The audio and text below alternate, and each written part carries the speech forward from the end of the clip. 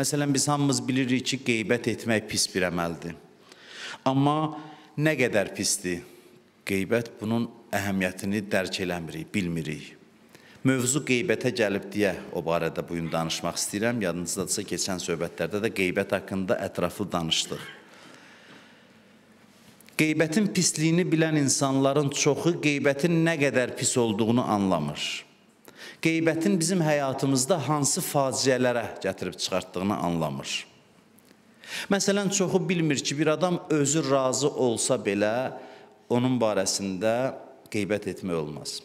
Məsələn, bəzisi deyir ki, özü mənə halallıq verib.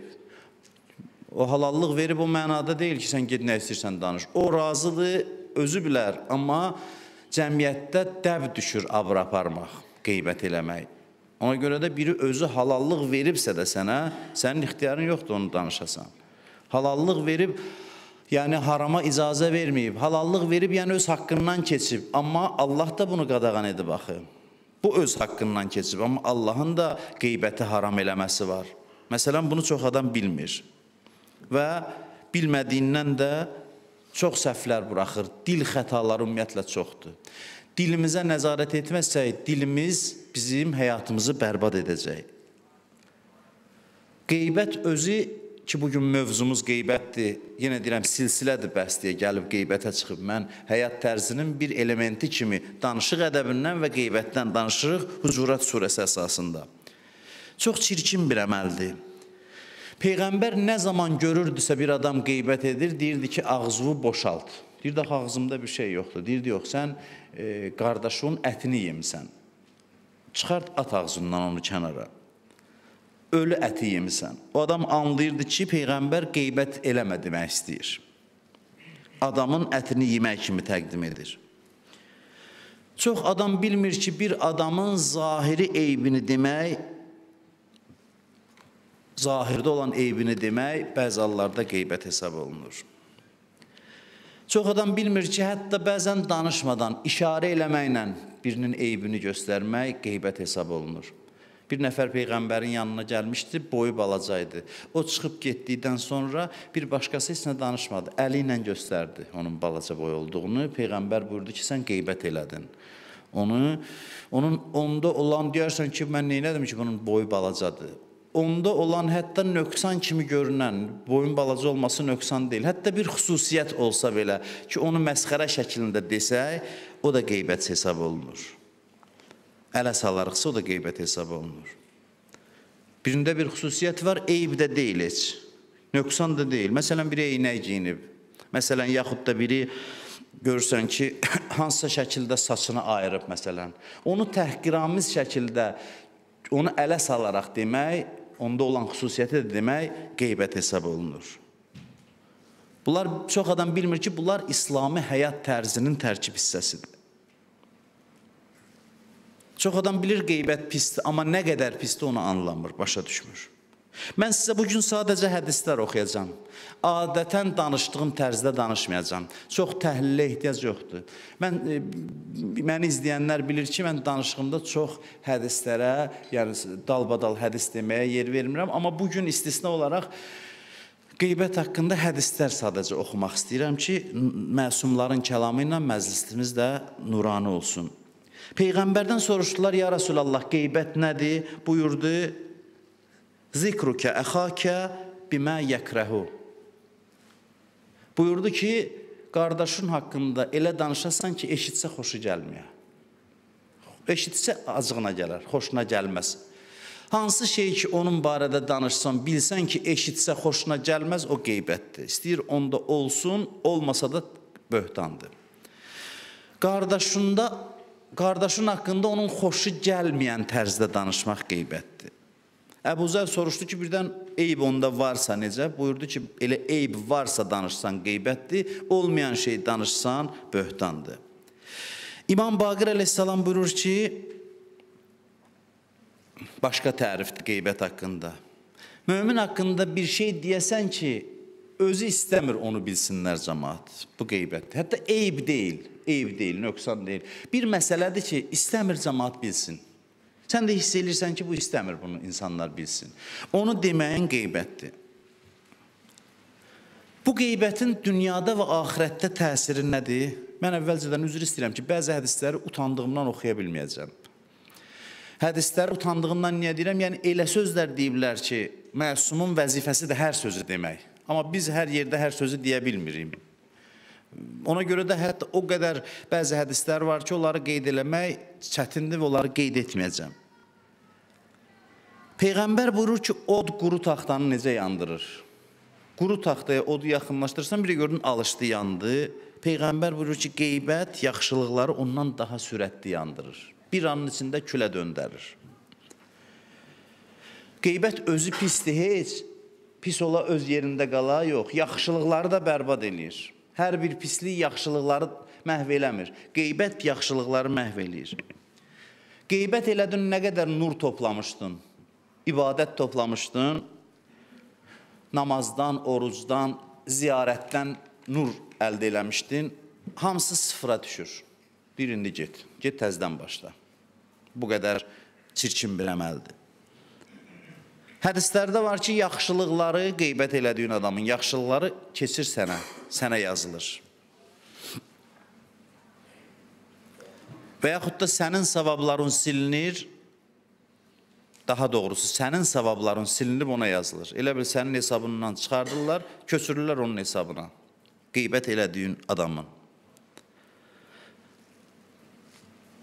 Alimlərdən biri deyir ki, bir adamla düşmənçilik eləsən də, ağıl bunu deyir ki, onun qeybətini eləmə. Çünki düşmənçilik eləyirsənsə, qeybət eləməklə ona yaxşılıq eləyirsən, savabı ona hədiyyə eləyirsən.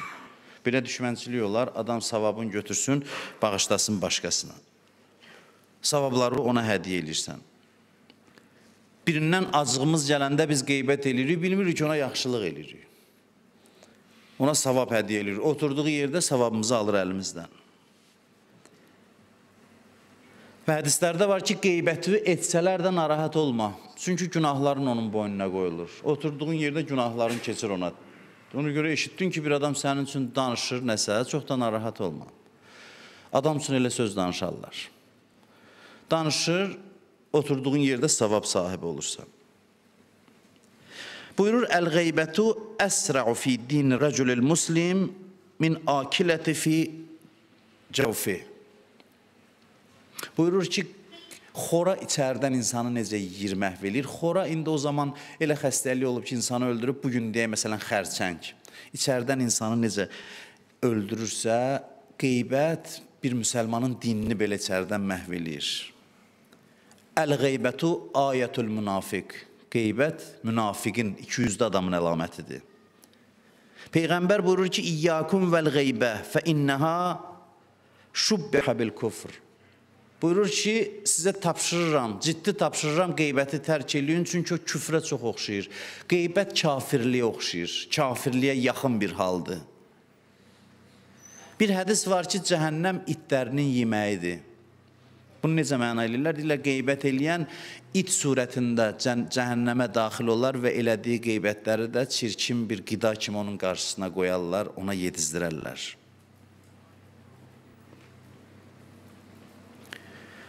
Quran ayəsi yadınızdadır. Hucurat surəsindəki ayə. Bu ayədən yoxdur Quranda.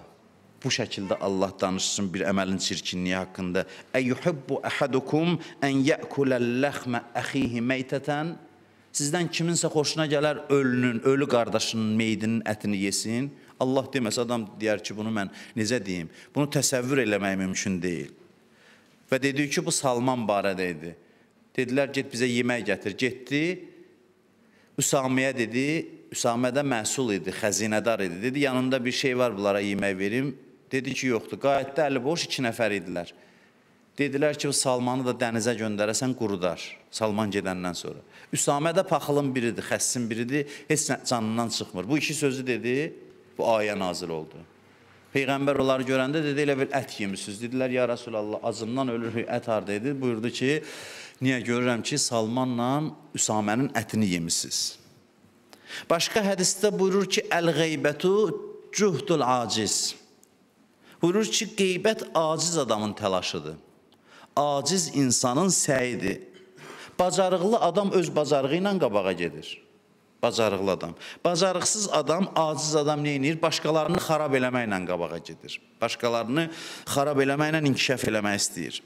Bəziləri öz evini başqalarının xarabalıqları üzərində qurmaqla inkişaf eləmək istəyir. Özü bir şey bacarmır, bacaranın qeybətini eləyir, onu xarab eləsin ki, güya bu inkişaf eləsin. Elə bilir ki, belə qabağa gedər.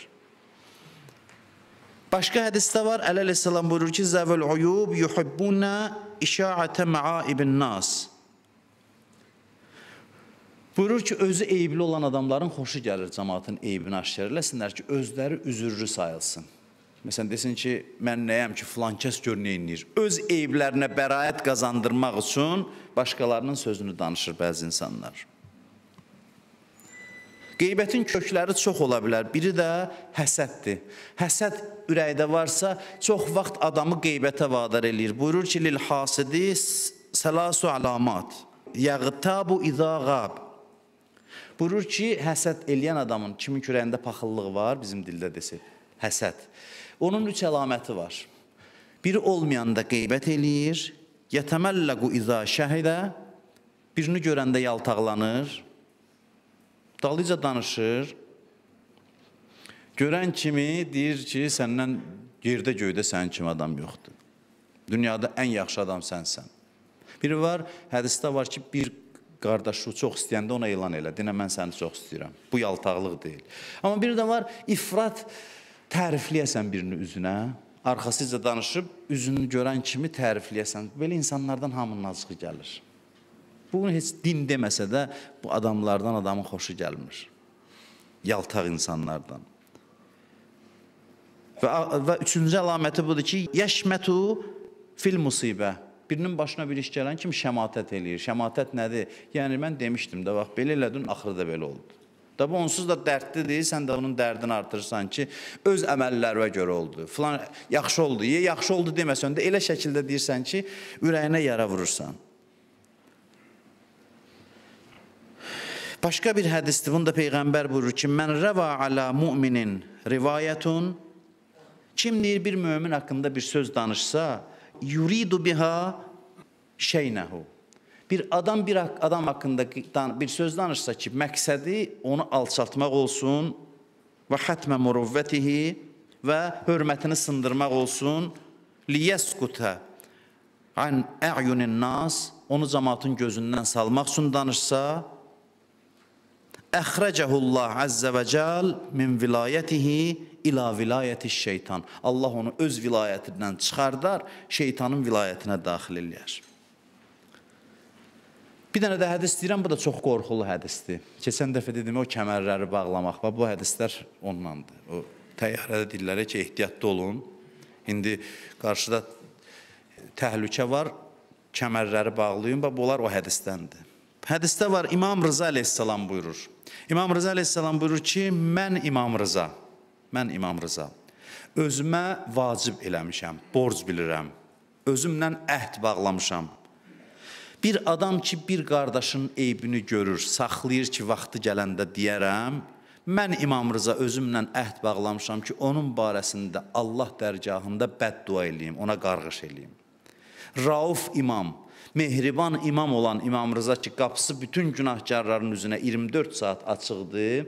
O buyurur ki, bir mömin başqa bir möminin eybini görə saxlaya ki, zamanı çatanda xarab eləyərəm səni, deyərəm sözü, yaddaşında saxlaya. Buyurur, mən əlimi qaldıraram Allahın dərgahına, onun barəsində bəddua eləyərəm.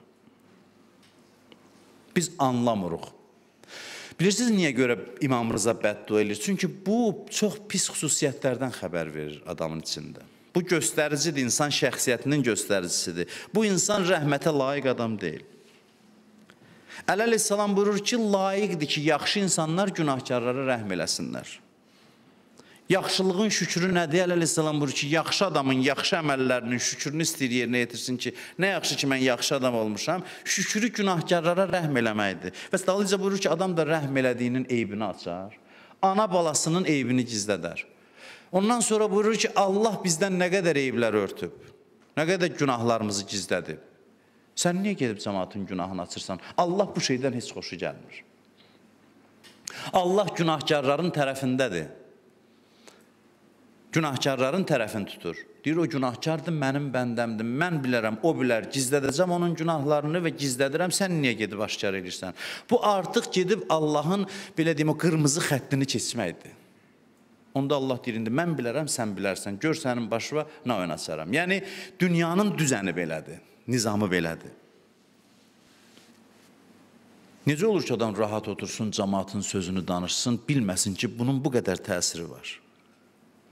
Qiyamətdə çox şeylər görəcəyik. Pərdələr çəkiləndə bu əməllərin həqiqətini görəndə özümüz iyrənəcəyik. Allah eləsin ki, özümüz tez rahat keçək ki, o səhnələri görməyək, qeybət eləyənlərin aqibətini.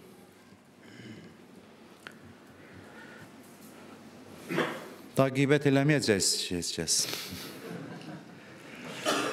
Daha yəqin ki, qeybət eləmərik bundan sonra. Bəs indi keçmişdə eləmişiksə neyniyək? Keçmişdə eləmişiksə tövbə eləyək. Necə tövbə eləyək? Tövbə eləyək ki, Allah cəmaatın sözünü danışmışam, məni bağışla və o kəslərin ki, qeybətini eləmişəm, onları da bağışla. Qeybətin tövbəsi belədir. Kimin ki pis sözünü danışmışam, onu da bağışla. Onun üçün də dua edəsən. Mən indi əminəm ki, burada oturanlar da qeybət eləməyəcək, 100% eləməyəcək, qeybəti tərk edəcəklər və qeybəti tərk eləməyinin hədiyyəsi olaraq bu hədisi oxumaq istəyirəm. Qeybəti tərk edənlərə aiddir bu hədis və burada oturanların yəqin ki, hamısına aiddir. Buyurur ki, tərkül qeybəti əhabbu ilallah əzzə və cəl min əşrəti alaf rəkətin tətəvvuən. Buyurur ki, qeybəti tərk eləmək. Qeybəti tərk eləmək 10 min rikət namazdan üstündür bir adam üçün. Birini şişirdib qaldırıblar, tərifləyirlər. Yeridir ki, bir dənə söz deyib vurasan yerə, ürəyindən gəlir ki, indi e, siz təriflədiyiniz qədər də dəyərli adam deyil. Mən filan eybini görmüşəm, ya oturub danışmaq istəyirsən, o məqamda sözü ağzında həbs eləyəsən, danışmayasan, buyurur ki, elə bil 10 min rükət namaz qılmısan oturduğun yerdə.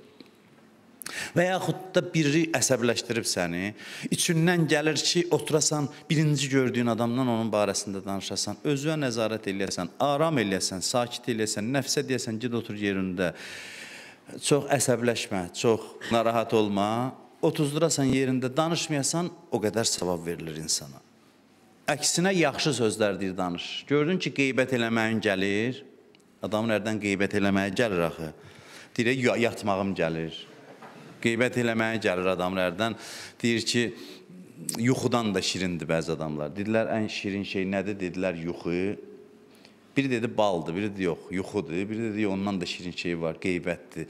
Yuxunu, yuxu çox qədər şirindir. Yuxudan da durursan, görürsən birinin sözünü danışırlar, qoşulursan ora yuxun da qaçır. Kim ki qeybəti tərk eləmək istəyir, qeybəti tərk eləsin və əksinə onun barəsində yaxşı söz deyəsən qeybət eləmək istəyən məqamda. Hədis var ki, elə söz elə söz ki, istəyirsən sənin barəsində danış, barəndə danışsınlar.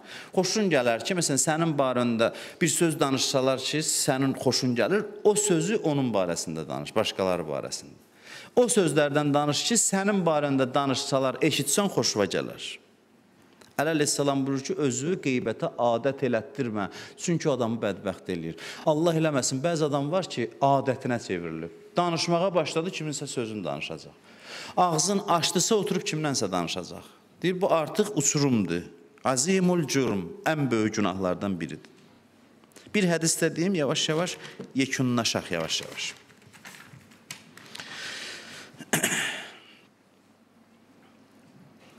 Bu hədis isə Bundan da qabaq deyirəm ki, Allah bizə rəhm eləsin. Allah bizə rəhm eləsin ki, bilmədiyimiz qəbahətləri bizim üçün bağışlasın. Və mən indi haşiyə olaraq xüsusən özümüz üçün deyirəm ki, biz müqəddəs ziyarətgahlarda olduq. Yəni Məşhəd, Kərbəla ziyarətində İraq imamlarının, İraqda dəfn olunan imamların hər birini ziyarət elədik. Hamımızın adından da orada ziyarət elədik, dua elədik və mən bunu tam məsuliyyətlə deyirəm ki, ömrümün ən mənalı, şişirtmədən deyirəm ki, ən mənalı, ən dəyərli günlərini mən şəxsən yaşadım və hələ indiyə qədər də o gözəlliyin təsirindəyik, o fəzilətli o qəbirlərin hərəsi bir nur parçası idi. Nə bilim, nəsə söz acizdir. Vəsf eləyir adam Kərbəlanı, Məşədi, Nəcəfi, digər ziyarətgahları. Yəni həqiqətən söz acizdir. Sanki insan cənnətə gedib oradan səfər eləyib qayıdıb gəlib. Yəni belə bir təəssürat var. Mən e, istəmirəm həsrət yaradım getməyənlərdə, istəyirəm rəğbət yaradım ki, inşallah Allah hamımıza qismət eləsin.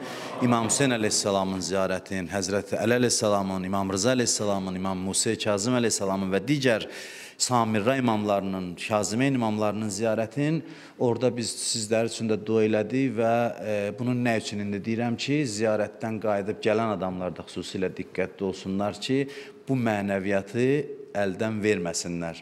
Əldən verməsinlər günahlarla və ziyarətə getməyənlər də bəzən ziyarətə nail olmaq üçün özlərində çalışmaqları lazımdır. Mən hədis deyirəm, bu qeybəti eşitmək barədədir. Danışmır özü, yazıq danışmır. Oturub cəmaət danışır, bu da qulaq asır. Buyurur ki, mən uğ mən uğtibə bir insanın yanında indəhu əxuhul muslim fəstəta'a nəsrəhu fələm yansuruhu xəzələhullah fid dunya vəl axirə.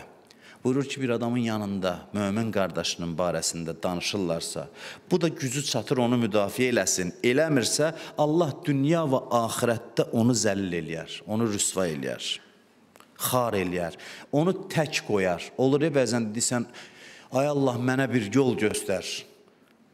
O dillərə bizdə neyinim deməyəsən.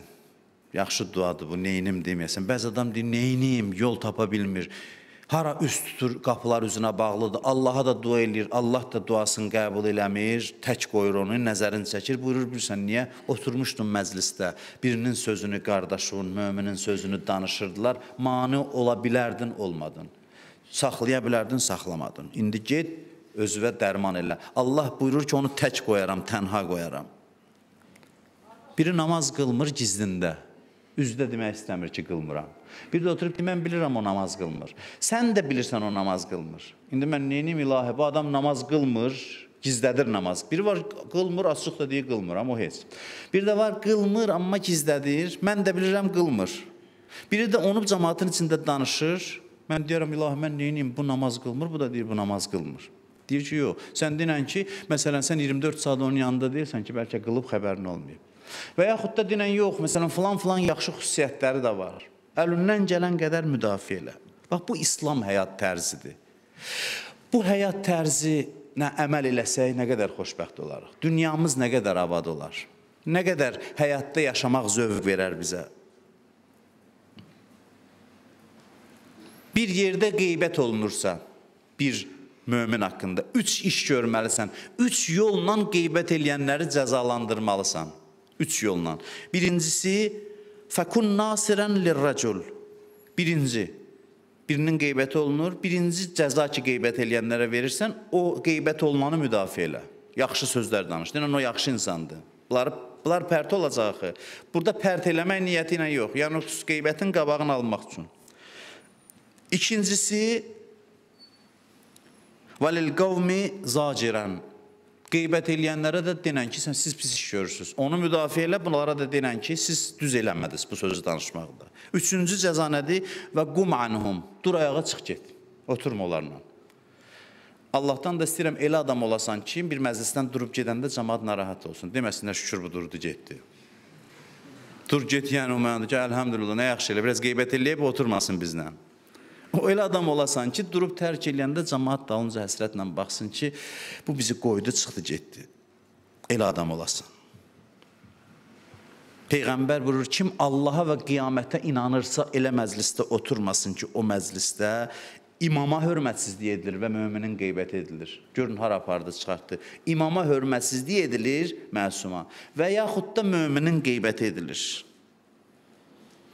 Kimin qeybəti caizdir bilirsiniz? Fasiqin qeybəti caizdir, icazəlidir.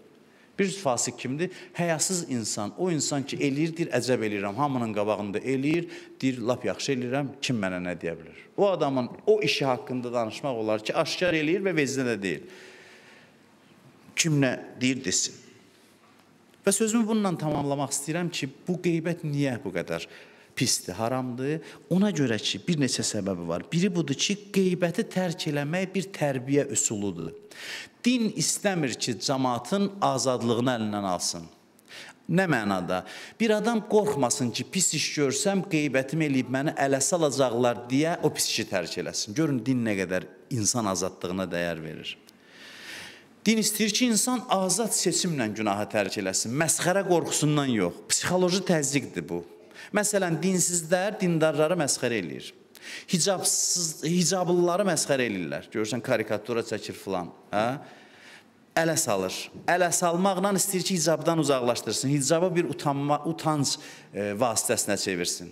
Amma dindarın ixtiyarı yoxdur, açıq-saçaq gəzən adam məsxər eləsin ki, onu da utandırıb e, hicaba dəvət eləsin. Din deyir olmaz belə. Azad seçim qoyma. O qədər azad olmalıdır ki, ona təzyiqlə yox, tam azad seçimlə dinə gəlməlidir.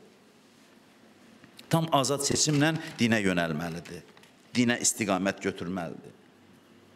Doğrudan da bir qeybətin səbəbini araşdırsan görürsən arxasında bir dünya görüşü var. Və cəmiyyətdən qeybət yığılış, yığılsa əgər, insanlar əlindən tutub bir-birinin qabağını alsalar, desələr ki, bunu eləmək olmaz, xeyli işlərimiz düzələr. İnsanlarla yaşamaq, ünsiyyətdə olmaq zövq verər. Adam dursun bir məclisdən arxayın getsin ki, burada başını kəssələr mənim barəmdə danışmayacaqlar. Hanı belə cəmiyyət? Ki dursun, getsin, tam arxayın ki, mənim haqqımda bu cəmiyyətdə heç kəs danışmayacaq. Bu bizim dünyamızın abad olmasına gətirib çıxarır və İslam həyat tərzinin tərkib hissələrindən biridir. Və bu yaxşıların özünün də bərbad olmasının qabağını alır. Çünki sən yaxşı insansansa, o demək deyil ki, sən başı basıb günahkarların gözünü çıxardasan. Sən yaxşı insansansa, günahkarlara rəhm elə.